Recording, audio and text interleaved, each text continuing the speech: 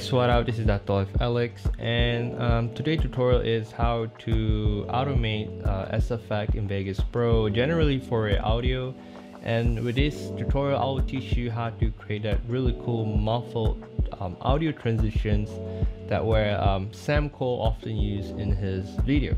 Now before I start with the tutorial I would really appreciate if you guys take your time watch this short film uh, titled Rewritten edited by B using Vegas Pro and this whole short film took us roughly about three weeks to complete and it's really tiring.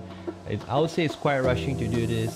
So I would really appreciate you guys watch it. Leave some thumbs up. You can watch that um, uh, short film through the card showing you right now on the top right or on the, in the link down below. So you can watch it now. Leave some feedback on what do you guys think about that short film so anyway let's uh, jump back into the tutorial. So automate is basically something similar to keyframe where you keyframe your effects uh, which is mainly for visuals but automate is basically to control every single um, functionality of your OFX plugins for audio but uh, you can only uh, automate on not every single uh, SFX you see in Vegas Pro um, and you can only automate uh, based on the track not on the music or the audio itself. So if you go to your uh, track effects and uh, in the plugin change there's one folder named automatable means from auto, uh, amplitude modulation all the way to volume this is the only SFX that you can automate, which basically keyframe, uh, which is not every single uh, SFX um, can be automated. So please keep that in mind. So you go to the automatable um, folder, and in this tutorial, I will teach you how to do the muffled audio effects. So which is you're gonna use filter. It's it's named resonant filter. You press add, hit OK.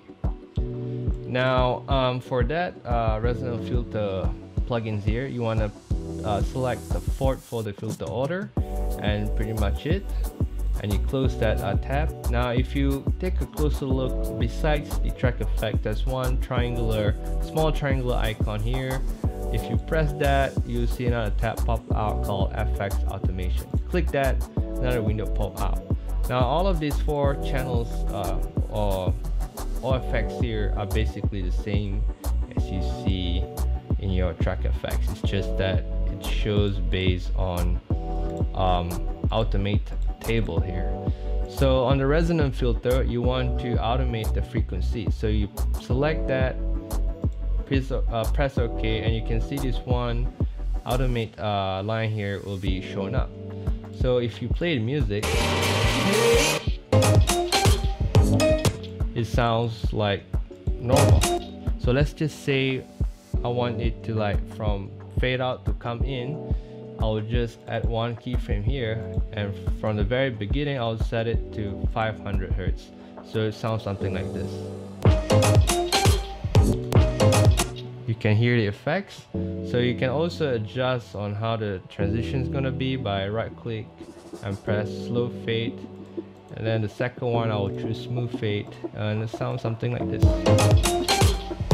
You can play around with that. So how about like I want to fade out the audio somewhere around here. I can just press another keyframe here at one.